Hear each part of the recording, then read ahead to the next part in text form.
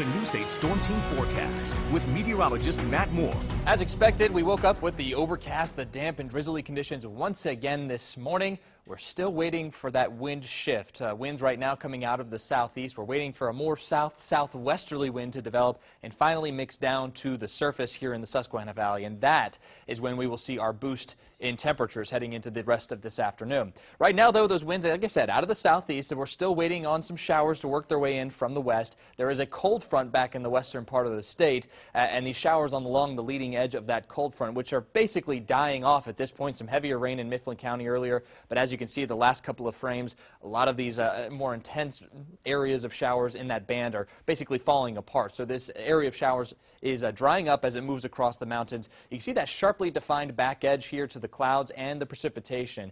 That's where the cold front is and that is what will be sweeping to the east and eventually helping to mix down some of those winds out of the southwest here into the surface. So as we go through the rest of today, I do expect it to remain mostly cloudy, especially through the rest of this afternoon. However, there will likely be a wind shift from the southeast to more west-southwesterly, and we'll see those winds picking up. You'll notice as soon as the breeze picks up this afternoon, the temperatures will also rise pretty quickly. And along that cold front, there could be a few showers and even a rumble of thunder or two as the front finally makes its way through. But by the this evening, we'll start to get back into some clearing. It'll get back into uh, seeing a little bit more sunshine before the sun sets. Into tonight, though, uh, we'll, start we'll stay partly to mainly clear. However, there is some upper level energy still has to work its way through. So as that comes through, there could be a shower late tonight, more likely towards tomorrow morning. Otherwise, a, a mild relative to this time of the year for the low temperatures and also a breezy night, 44 to 48 degrees for those lows.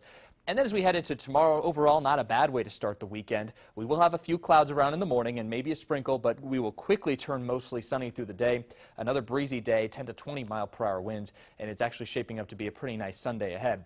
But right now, our temperatures are quite chilly. We're in the mid 40s to some spots in the upper 40s uh, along the Mason-Dixon line here, still under the influence of that easterly flow of air. But where the winds have shifted out of the south, we have already started to see that bump in temperatures.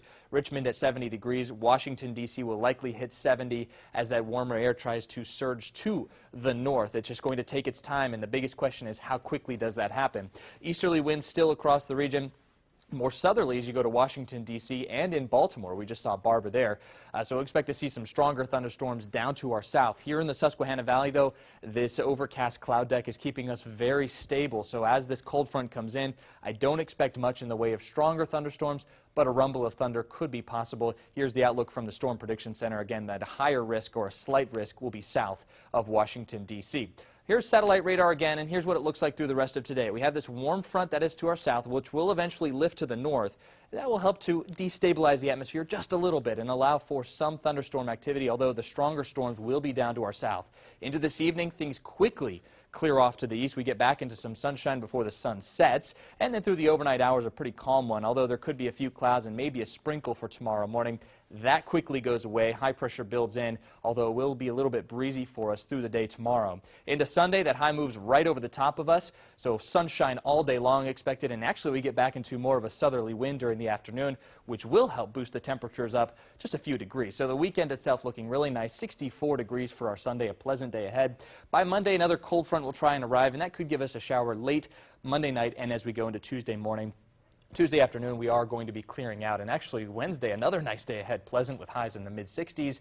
Upper 60s expected by the time we hit the end of the week. Another system could give us some rain on Friday. But overall, we'll watch for the shower or storm chance. Nothing severe and not nothing nearly as active as what happened yesterday in the west. Boy, those were some scary looking photos. Big tornadoes yeah. out there, for sure. All right. Thanks, Matt. Mm -hmm.